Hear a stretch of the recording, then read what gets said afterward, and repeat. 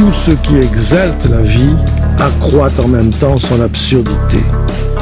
Dans l'été d'Algérie, j'apprends qu'une seule chose est plus tragique que la souffrance, et c'est la vie d'un homme heureux. Révolte ouvrière en Espagne, défi grandissant des nazis et de leurs bêtes immondes. Toute la génération de Camus est basculée, immergée dans ce sinistre visage de l'histoire.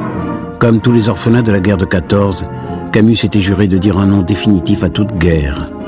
Mais désormais l'idée s'impose, sournoisement, qu'il va falloir corriger la passion du bonheur par une résignation accablée à la violence.